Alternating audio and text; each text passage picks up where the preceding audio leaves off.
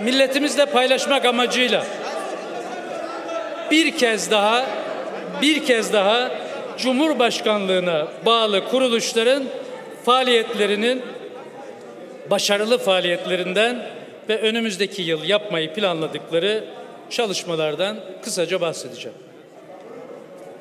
Sayın Başkan, değerli milletvekilleri, Cumhurbaşkanlığına bağlı 7 başkanlık, 4 ofis, 9 politika kurulu ve bir genel sekreterlik, bakanlıklar ve sivil toplum kuruluşları ile birlikte Cumhurbaşkanlığı hükümet sisteminin etkin politika tasarlama ve uygulama mekanizmalarını oluşturmaktadır.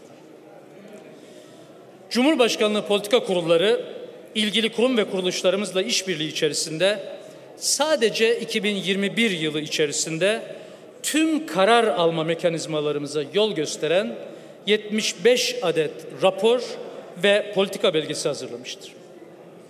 Hali hazırda 19 adet politika dokümanının ise hazırlıkları sürmektedir.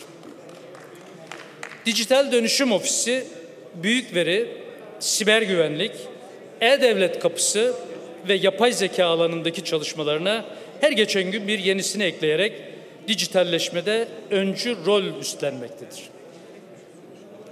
Dijital Dönüşüm Ofisi 2022 yılında kamunun elindeki verinin analiz edilerek karar alma süreçlerinde kullanılması yönünde yerli ve milli büyük veri çalışmalarını e-Devlet kapısına mobil cüzdan eklentisinin yanı sıra iki faktörlü güvenlik doğrulaması seçeneğiyle güvenliğin artırılması ve kullanıcı dostu dijital kamu hizmetlerinin zenginleştirilmesi. Ulusal Yapay Zeka Stratejisi doğrultusunda 2021-25 yapay zeka eylem planlarının hazırlanması ve yapay zeka portalının kullanıma açılması. Kuzey Kıbrıs Türk Cumhuriyeti ve Verim Merkezi projesi Kuzey Kıbrıs Türk Cumhuriyeti'ndeki ve EKKTC işbirliği gibi çalışmalarını hayata geçirecek, dijitalleşen Türkiye'nin lokomotifi olmayı sürdürecektir.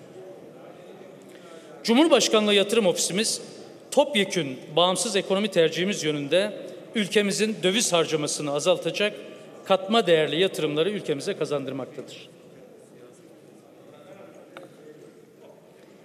Ofis yatırım portföyünde bulunan yatırımların yüzde 13'ü doğrudan ARGE ve tasarım merkezi yatırımlarından yüzde 41'i tedarikçisini geliştirme potansiyeline sahip teknoloji yoğun ve yüksek katma değerli üretim yatırımlarından ve yüzde 31'i ara malı ithalatının yüksek olduğu sektör ürün gruplarında ithalat bağımlılığını azaltmaya yönelik yatırımlardan oluşmaktadır.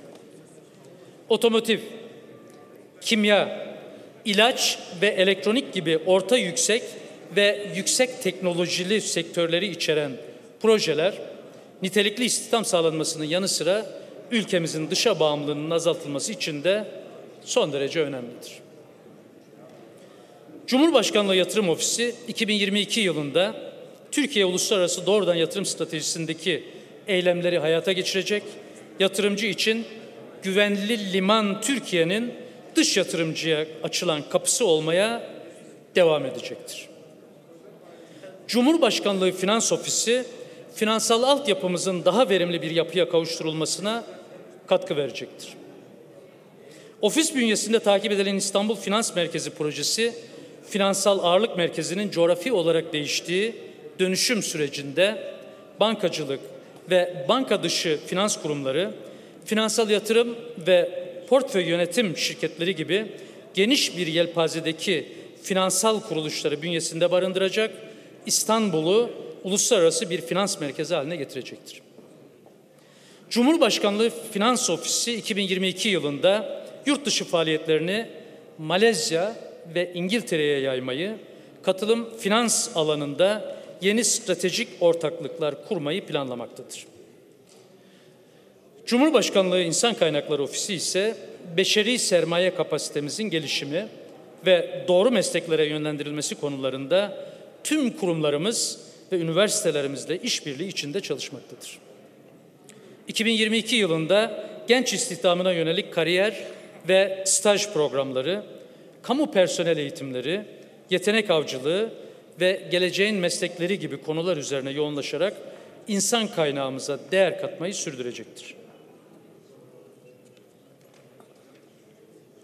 Strateji ve Bütçe Başkanlığımız program bütçe sistemine geçilmesiyle plan, program ve bütçe bağlantısının güçlendirilmesi, karar alıcılar için harcama önceliklerinin daha kolay belirlenmesi, sonuç odaklı bir mali yönetim anlayışının geliştirilmesi, hesap verebilirlik ile saydamlığa hizmet edecek şekilde izleme ve değerlendirme sürecinin etkinleştirilmesi gibi alanlarda önemli mesafe kat etmiştir. Önümüzdeki yıl program bütçe sisteminin çıktıları somutlaştıkça yapılacak izleme ve değerlendirmelerle daha etkin politikaları hayata geçirmek için tüm kamu kesimine yön vermeyi sürdürecektir. Başta temel politika dokümanlarının hazırlanması olmak üzere, merkezi yönetim bütçesinin hazırlanması ve uygulanması, kaynak tahsisi, bütçe, politika ve stratejilerin koordinasyonu gibi görevleriyle strateji ve bütçe başkanlığımız kalkınmayı dengeli ve sürdürülebilir kılmak misyonuyla çalışmasına ve çalışmaya devam edecektir. Diyanet İşleri Başkanlığı İslam dininin inanç, ibadet ve ahlak esaslarıyla toplumu ve insanlığı aydınlatma sorumluluğuyla çalışmalarını yürütmektedir. Başkanlık 2022 yılında mevcut faaliyetlerinin yanı sıra Müslümanların hayatın farklı alanlarında karşılaştığı problemlere çözüm aramak maksadıyla iktisadi hayat ve sağlık, sosyal hayat, güncel inanç problemleri çalıştayları ve ibadet hayatı ile ilgili konuların ele alınacağı güncel dini meseleleri, meseleler buluşmaları düzenlemeyi de planlamaktadır.